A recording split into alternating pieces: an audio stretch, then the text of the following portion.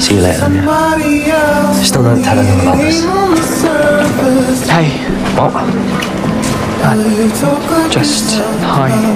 Why are you talking to me? I don't even know who you are. But even slightly cared about my feelings. We'll never meet up when you want to, where you want to, when you feel like kissing a boy. You don't care about me at all. Well, it's not like anyone else is going to want to go out with you, is it? of every bit of beating heart that I have. Whatever I Charlie, I know you like me. Stop it! Charlie, look, I like you, but I'm figuring stuff out. Literally, what more do you want from me?